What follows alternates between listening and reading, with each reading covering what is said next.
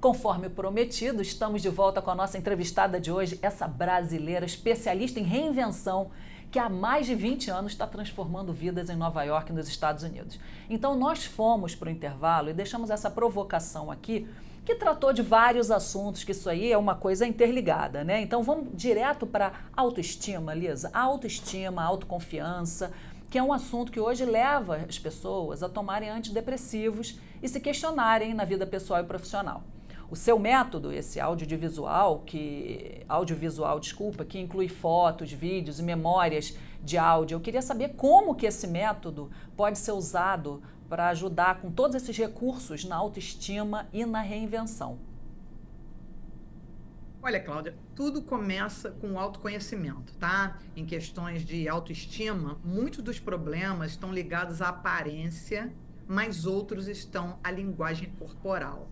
Então, eu uso recursos audiovisuais pelo seguinte: se alguém que está se achando ou não atraente ou desajeitado, eu às vezes treino pessoas num palco, ah, mas eu estou tão desajeitado quando eu olho o meu vídeo, não gosto do que eu vejo.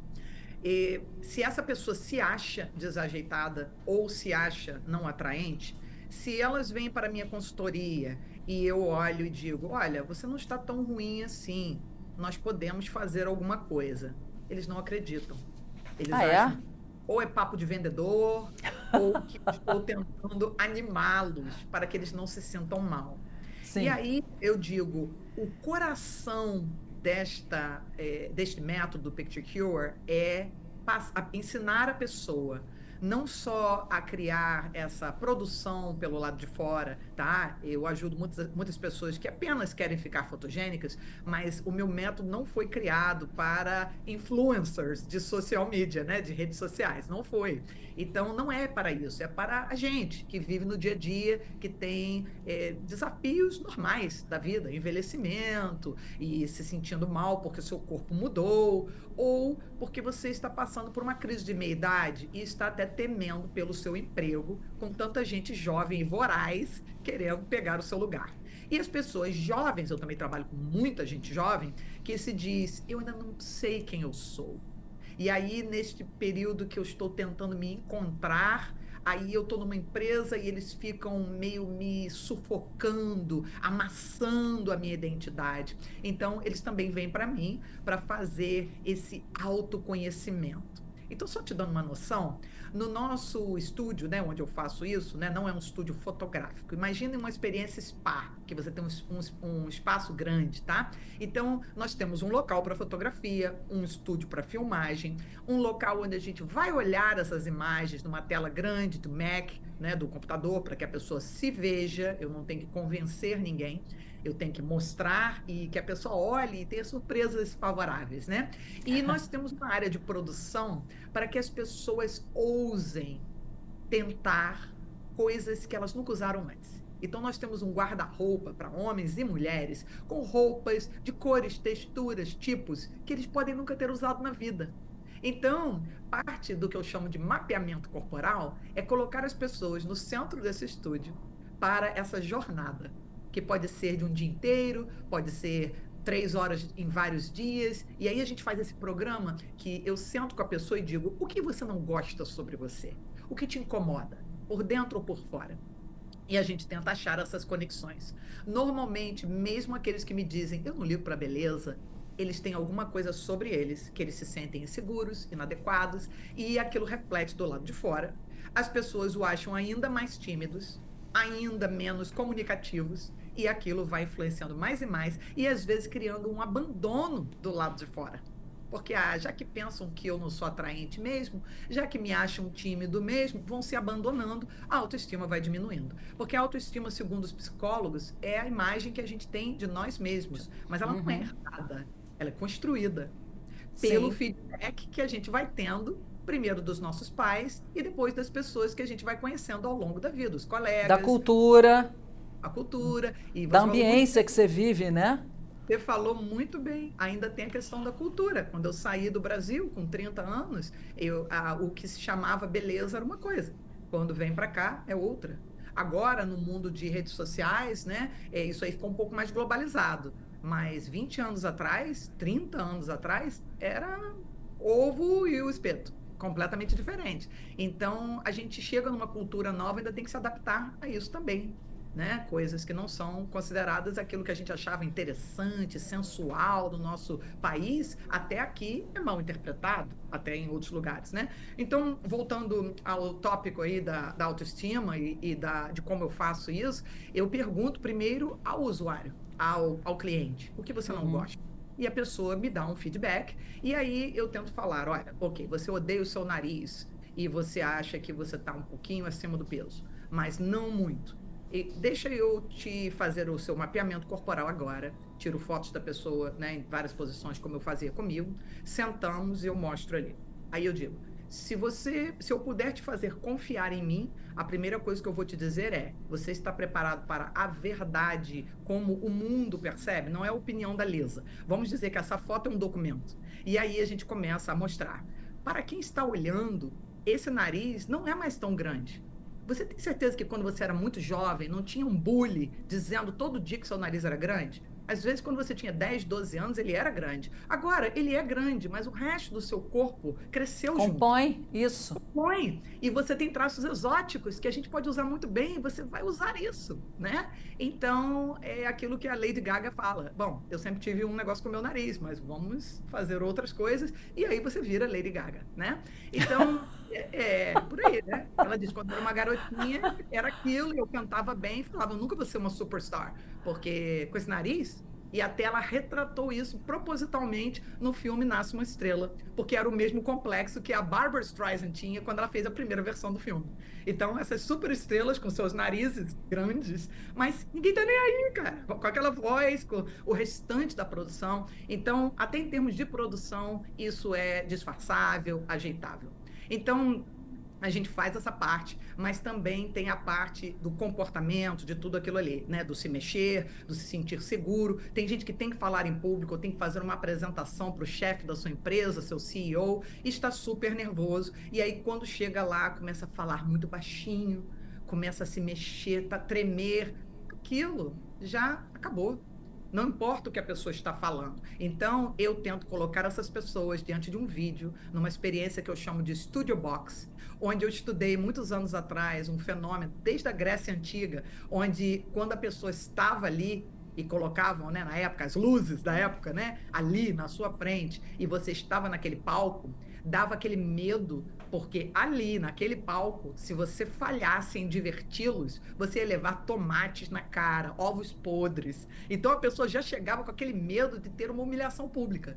Aquilo Sim. passou gerações e gerações à frente. E hoje. No DNA, dia, né? No DNA. Esse é aquilo que eles chamam de, de passa com a cultura, né? Passa a pessoa de, Ih, vai falar lá na frente. Isso veio disso. Então, é ok eu contar uma história em, em, em volta do fogo ali para minha tribo, contar uma história dos antepassados, todo mundo sentando olhando para o fogo. Mas se alguém vai lá na frente, todo mundo olhando para ele, vem essa coisa dos tempos greco-romanos e essa coisa ali da, de estar tá dentro daquela arena, basicamente, naquele né, palco.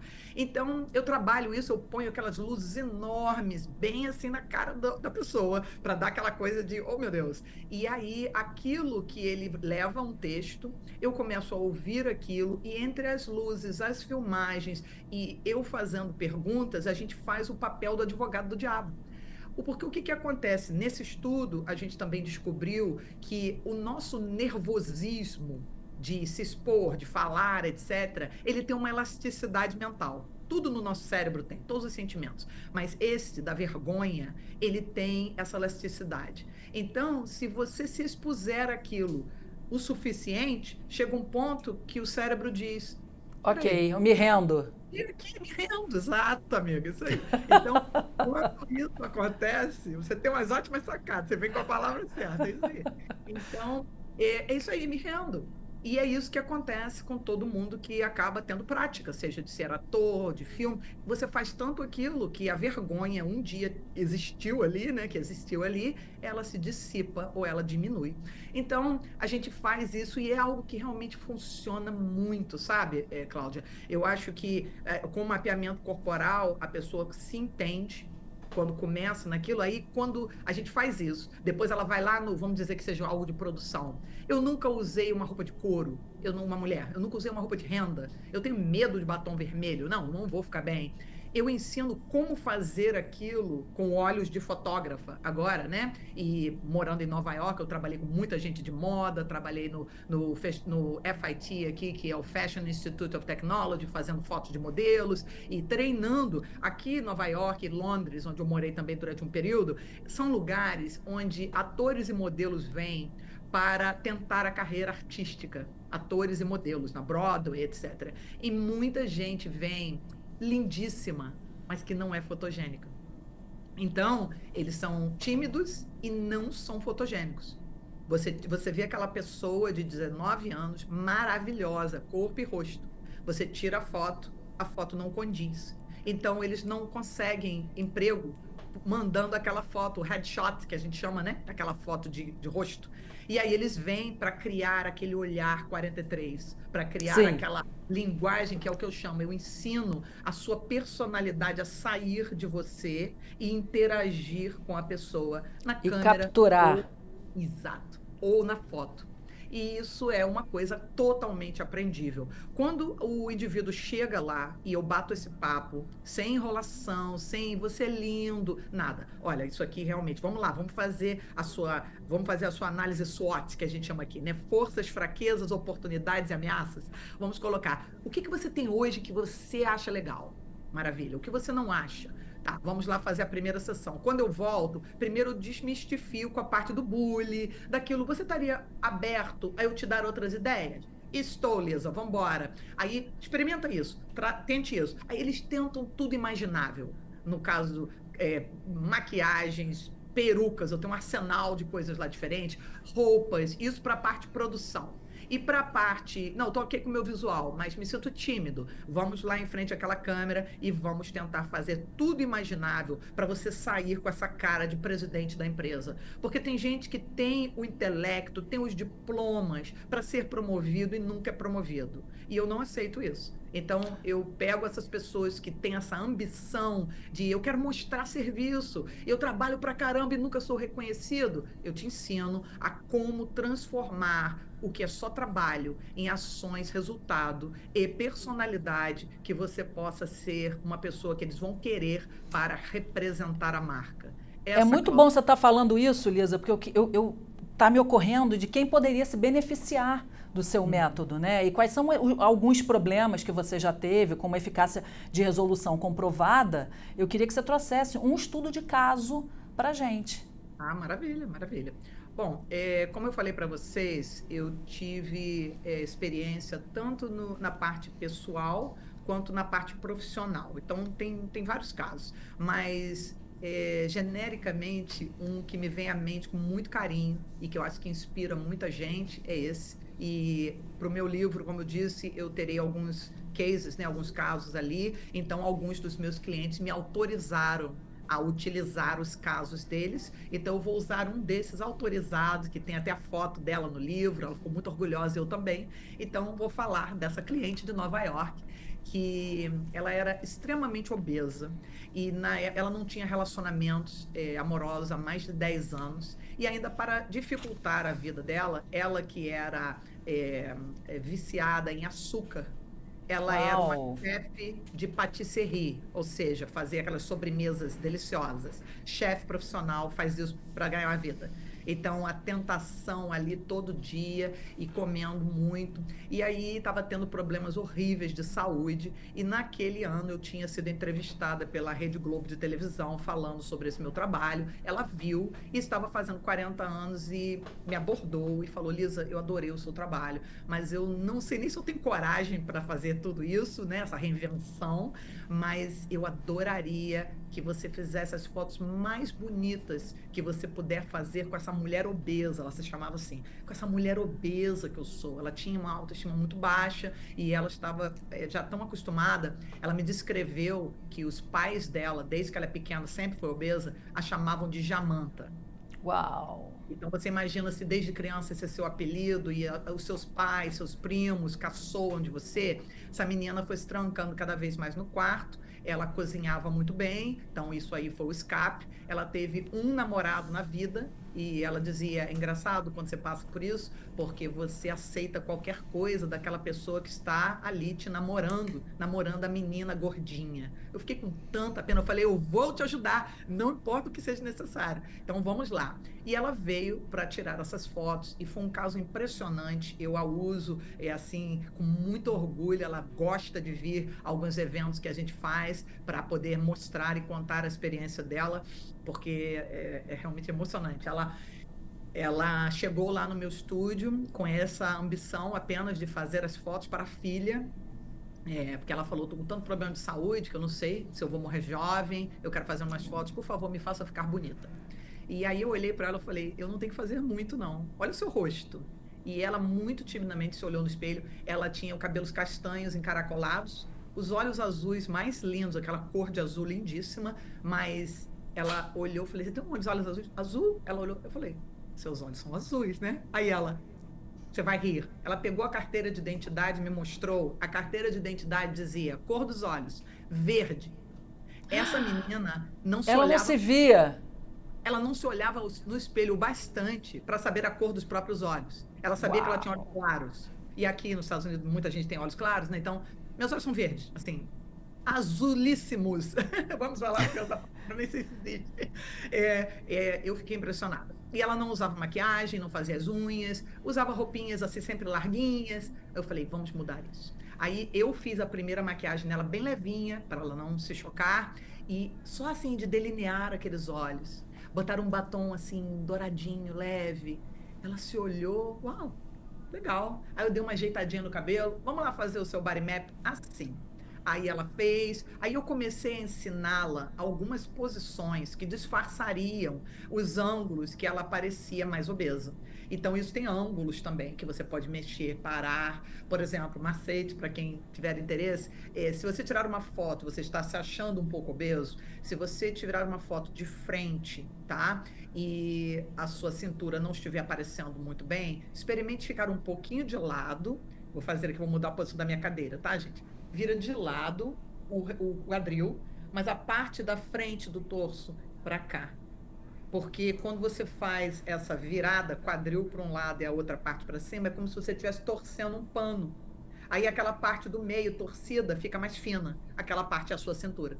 Então, você, tirar, você faz esse ângulo de pernas para um lado e o resto para cá, já afinei a cintura. Então, tem vários detalhes, porque o que, que acontece? Como comigo, aconteceu comigo, dois anos para melhorar. Eu tive muita força de vontade transformando isso no método científico, mas a maioria das pessoas se perdem ao longo do caminho. Então, quando estão fazendo comigo, óbvio, eu sou a pessoa incentivando, volta, vamos lá, vamos lá. E, mas é muito importante que você tenha essa determinação e que você trabalhe com um método. Foi por isso que eu criei um método, um, dois, três, quatro, porque aí a pessoa pode fazer sozinho. Essa que é a intenção no livro. E para quem for fazer grupos depois no futuro, eu monto grupos, etc. Então, essa moça, eh, nós fizemos isso e ao longo daquele dia, que começou numa manhã, ela tomou café comigo lá, né, no nosso espaço e contou a, a conversa, eu já tinha conversado com ela antes, fizemos o primeiro body mapping, ela já foi se sentindo um pouquinho melhor. Aí almoçamos. Depois do almoço, ela já não estava tão envergonhada, ela estava gostando da brincadeira, vamos dizer assim. Ela já não estava tão naquela coisa de não, não, eu não gosto de câmera, eu não tô bonita. Ela se encantou com o que nós fizemos com o rosto e aí o corpo. Eu falei, olha, vou te mostrar roupas que enquanto você não emagrece, se você quiser entrar numa dieta, você pode disfarçar, porque é muito importante esse período. Todo mundo faz um, um gol, uma meta, mas entre o dia 1 e o dia 1000 é muito longe. Eu passei por isso, muitíssimo longe. Então, se você não que inspirador, algo... Lisa! Que coisa mais inspiradora! Ah, que obrigada. método fantástico! Ai, que bom que você acha e eu fico muito feliz de estar podendo ajudar. Então, voltando a essa, esse case aí para a gente terminar, é, ela, ela fez isso e aí durante aquela, aquele dia ela foi ficando tão encantada. Eu descobri que essa moça, ela acabou vendo que, embora ela não se achasse bonita, ela era fotogênica. Ela conseguiu, ela estava tão encantada que ela olhava para aquilo ali devagarzinho. Quando eu, ela faz uma foto que ela tá assim, sem saber, aí eu mostro. Eu vou fotografando, ao contrário de uma sessão comum, eu fotografo e mostro. Aí conforme a pessoa vendo, ih, minha carinha aqui tá ótima. Uau, aqui eu pareço jovem. Nossa, eles vão se descobrindo ao longo. E aí quando eles voltam para frente da câmera, eu tô fera, ele já vem rindo. Então é uma delícia, eu sou apaixonada, adoro trabalhar com isso e realmente ajuda bastante. Então, no fim desse dia, essa menina saiu animadíssima e aí ela já não queria mais só melhorar a saúde. Ela queria emagrecer e chegar no fim do ano, isso foi em fevereiro, e fazer uma sessão comigo, uma, uma mulher mudada. Falei, o que você evoluir, já estou orgulhosa de você, te ajuda ao longo. Ela tinha muitos seguidores, porque ela era né, chefe, todo mundo ama a comida dela, e ela, galera, preciso do seu apoio, estou saindo hoje desse trabalho, quero emagrecer. Essa menina começou a tomar suco, ela passou por um detox de açúcar, que ela sentava no chão chorando. Mas ela falou: eu lembrava, eu botava minhas fotos ali, eu quero ser aquela mulher daquela sessão ali que a gente fez.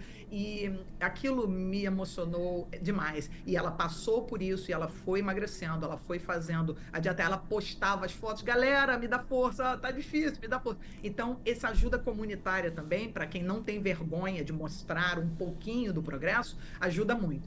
O meu, eu gosto muito de falar, só um parênteses aqui, que durante a terapia fotográfica ou videográfica, a gente, em termos de mídia social, né, de rede social, a gente não gosta de tirar foto quando tá feio, a gente deleta. Porque na cultura atual de mídia, né, de, de rede social, o que eu fotográfico eu tenho que postar. Se não é para postar, tá feio, eu deleto. Não façam mais isso. As suas fotos feias são as que mais te ensinam o que está errado e o que você pode mudar. Se em vez de olhar e você deletar, você puder olhar para ela, peraí, vou lembrar lá da Lisa, daquele curso da Picture Cure, e você puder olhar e falar, por que eu acho que está feio?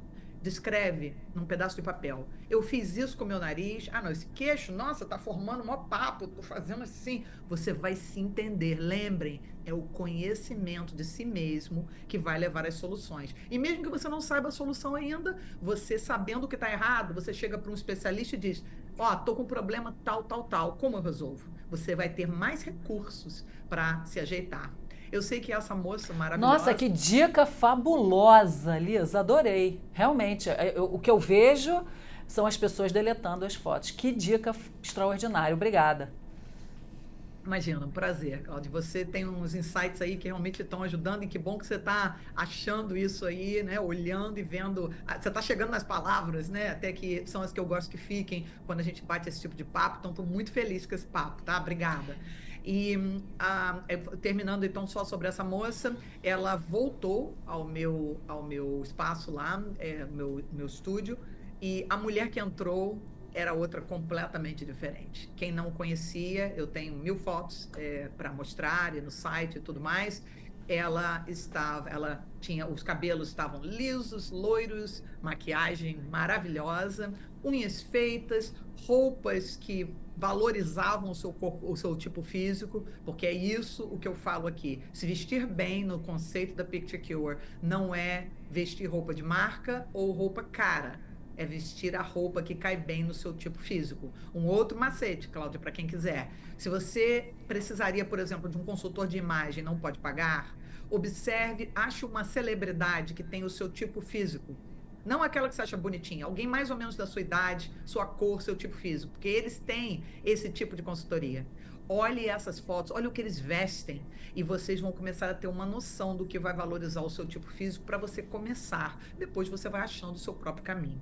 Mas essa moça me chega lá maravilhosa e 32 quilos mais magra eu não Uau. poderia ter mais orgulho da determinação, da força de vontade e de saber que algo que funcionou para mim e para outras mulheres em outras épocas e tudo funcionou tão bem para uma pessoa que estava precisando de uma coisa que várias pessoas sofrem, que é o problema da obesidade. Então, é, isso não é história assim solta no ar, tá no meu website para quem quiser ver a história completa, o caso, o nome dela, onde mora, tudo mais e realmente foi algo assim que me impressionou. Então, tem muitos casos maravilhosos, mas eu sempre. Obrigada, obrigada. Bravo! inspiradora, que história. Estou muito orgulhosa de você, mas também quero falar da sua parte filantrópica, né? Porque você faz um trabalho voluntário. Eu soube que você fez uma palestra no prestigioso Lincoln Center em Nova York, né, para uma audiência de filantropos, de embaixadores, tinha cirurgião oncologista. Eu te pesquisei e você ganhou um prêmio. E nós brasileiros aqui, que você nos representa, estamos com muito orgulho de você. Eu queria que você contasse um pouco sobre como é que foi essa experiência. Ah, nossa, foi, foi indescritível, Cláudia, porque é, eu costumava ir ao Lincoln Center é, assim, para assistir espetáculos, óperas, balés, ou ouvir aqueles palestrantes que eu super admirava. Estar naquele palco falando para aquele tipo de, de audiência é, validou o meu trabalho. Não era mais uma coisa que eu acho que eu estou ajudando, eu tenho feito há 14 anos, e ter o reconhecimento é, daqueles profissionais e de uma fundação americana. Essa fundação que nos prestigiou, ela se chama Bunchful Foundation, eles dão esses prêmios para pessoas e empresas que ajudam ao próximo sem nenhum tipo de interesse lucrativo nisso, né? E com uma certa constância. Então, foi até um caso interessante. Eu escrevo uma coluna de desenvolvimento pessoal e profissional é, para um jornal brasileiro em português aqui em Nova York, né? Quem Uau. tiver interesse, até é interessante que pode ser lido em qualquer país, né? Qualquer pessoa falante da língua portuguesa. E tem online? A... Tem online, tem online, é o brasiliantimes.com. E aí, se a pessoa, é, quando trabalhando nesse, nesse local, eu fui cobrir um evento em setembro das Nações Unidas, que aconteceu aqui em Nova York. Nós fomos receber um prêmio para a Brazilian Heritage Foundation, que é uma fundação né, sobre é, a, a, cidadania brasileira é, nos Estados Unidos, os imigrantes. É um trabalho super bonito. E nós recebemos um prêmio da rainha da Nigéria é, neste evento das Nações Unidas. Então, eu fui receber o prêmio para a nossa fundação, né, o presidente é, e tudo mais, e aí, neste dia, estávamos conversando com a rainha, que também faz muito, muitos trabalhos para as mulheres pelo mundo, sobre esse trabalho é, da Picture Cure, que eu faço com uma companheira também em Nova York, é uma micropigmentadora paramédica, a Ana Célia Santiago, é uma profissional também brasileira, fantástica fantástica, tinha uma empresa em São Paulo, agora mora nos Estados Unidos, e ela e nós nos juntamos é, todos os meses, ou em Nova York, ou em alguma cidade que a gente estiver visitando aqui, para ajudar mulheres oncológicas a se recuperarem né, gratuitamente. Então, eu faço a parte desse workshop que eu expliquei para vocês da Picture Cure, e a Ana faz as tatuagens das areolas das, das mulheres que fizeram a mastectomia e precisaram reconstruir os seios. Então, a, a fundação ouviu sobre esse trabalho quando nós estávamos falando com a rainha e é, nós é, fomos convidadas, né? Eu fiz essa palestra sobre o que era o método da Picture Cure e depois nós duas recebemos, né, honradamente, esse prêmio pelo trabalho efetuado lá foram justamente premiadas, Lisa Andrews e Ana Célia Santiago. Fantástico, Lisa, muito orgulho, já disse, né, mas não me canso de repetir. E eu quero saber se você atende à distância. Atendo, olha, eu trouxe até o prêmio aqui para te mostrar. Cláudia. Olha que lindo! E conta é? como os nossos espectadores que quiserem o seu serviço, que se empolgaram, que veem a necessidade, como que fazem para falar com você? Você tem mídia social? Você deixa um contato para gente? Como é que é? Será um prazer. E, como sempre, tem muita coisa gratuita que eu vou adorar ajudar o pessoal né, do meu país. É, eu faço. A maioria do meu trabalho sempre foi em inglês, né? Aqui por causa das circunstâncias. E mês passado, é, escrevendo agora né, para o Jornal Brasileiro e com essa, essa iniciativa que a gente aqui prioriza a população imigrante. A gente atende primeiro os nossos, né? Os imigrantes e depois outras pessoas. Então tem muitos brasileiros vivendo em dificuldade aqui e a gente tenta fazer o melhor atendimento possível. Então nós criamos um Instagram para esse tipo de é, informar essa ajuda e informar também. Nós damos diariamente não é só para pessoas que ficaram doentes não. Eu falo sobre esse método dou essas dicas que eu dei aqui. É bem diluídas uma coisa fácil de fazer no dia a dia né? E é no Instagram é, o nome é Lisa meu Lisa é com Z Andrews, né, com WS no fim, e oficial, Lisa Andrews Oficial. Ali, diariamente, vocês vão ter pílulas de autoestima, superação, como viver melhor e vão estar a par de todas as atividades que fazemos aqui no exterior, no Brasil, né? Ficarem ligados aí na agenda, vai ser o um máximo quando estiver no Brasil, né? Conversar com o pessoal. Já ia falar isso. Você pretende ver o Brasil em breve?